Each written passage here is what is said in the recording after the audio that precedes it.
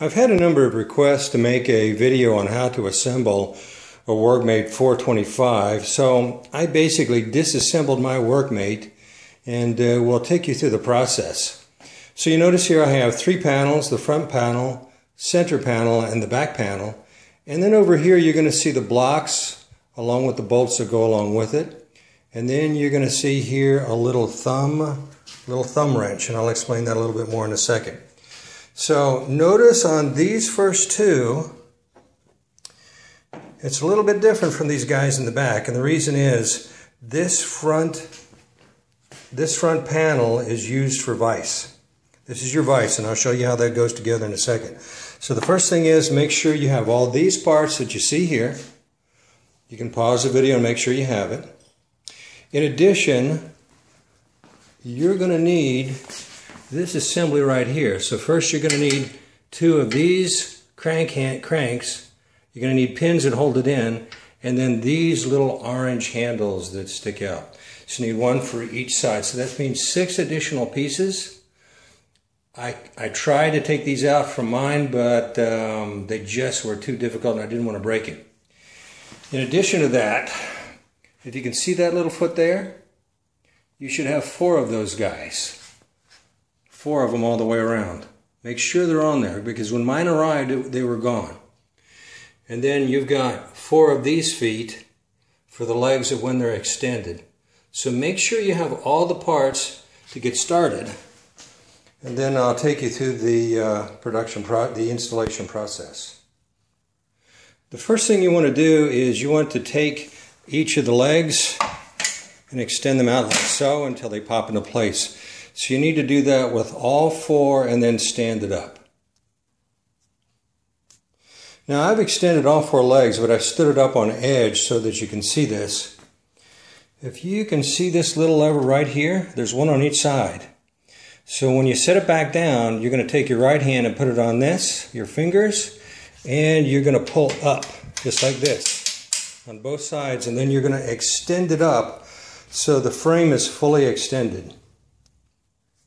So now I've got it fully extended and everything's locked, in, locked into place. You might have found that it was a little bit stiff when you opened it up. So while you're pulling up, all you have to do is put your foot on this footrest and pull it up.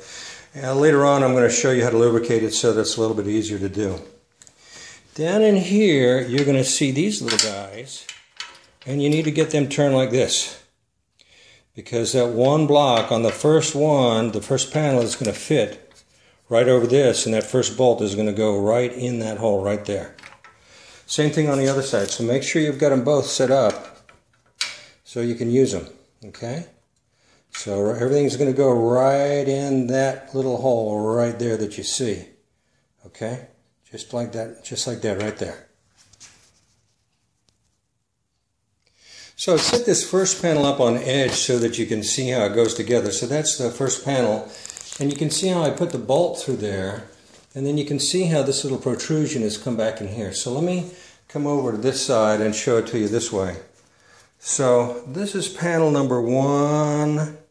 And I think you can see right there, you can see that little guy passing through into the wood. This is going to pass down into this hole that I was talking about before. I don't know if the light's good enough for you to see that. Right there. So what you're going to do is take the, the first panel and you're going to get one started and get it kind of uh, in there and then you're going to do the same thing on the other side. So I'm going to pause this and come back and do that.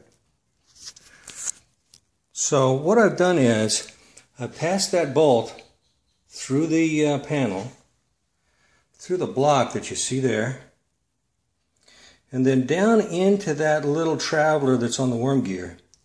And if you can see that little piece goes up into the board to keep it stable. So I've just got it started. So what I'm going to do next is tilt it up and do the other side. So now I have both of them on. And I hope you can see this. It's not wanting to focus really well. So this piece is going up into the board. And then there's the bolt passing down through and into this little carriage right here that is connected to this guy right here. And that's what's going to allow this piece, this panel, this first panel, to travel back and forth, okay? I want to talk about tightening at this point because you're looking at a bolt, a steel bolt that's going into plastic. And the last thing you want to do is strip that out. So make sure you don't tighten it down. If you're going to use a socket uh, wrench to get it down in there, when you get down to where it starts to feel tight, use this little thumb wrench that came with your system, that came in your package, and only get it finger tight. Because two things will happen. Number one, you'll strip the plastic.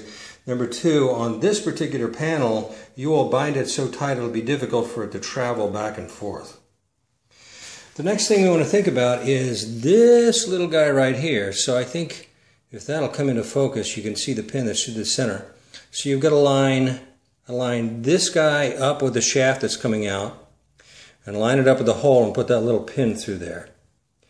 And make sure when you tap this in, you're very gentle. Don't, don't over hammer it. Don't use a big hammer because you'll actually bend that little pin. Also, this little guy just snaps into place.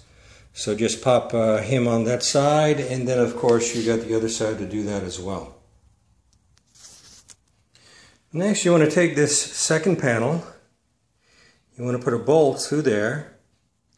Well, it's not giving us good focus, is it? Take the bolt, pass it through into this block, and then if you see here, this piece is going to go right in that hole right there. This is the part this is the part that sits down into the slots in the bench. So you need to do this on both sides of this piece. And then when you get done with that, you need to do the same thing on the third panel. This is just the second panel. So you see the screw coming down into here? That's the way it should be. And then this fits up into that hole right there. So let's take this over and look at it on the other side again. That's where that bolt goes through. And you can see, boy, that's not getting us good focus. You can see where that little piece comes through there. So do that on this panel and then the third panel as well. And remember, don't make them more than finger tight with your thumb wrench. So now what you should have are both panels hooked up with the blocks. So this is panel number two. I don't know if you can see underneath there really well. Let me tilt this one up for you. This one's set up the same way. And I've done it on both sides. So you have that on both sides. So the next step is this.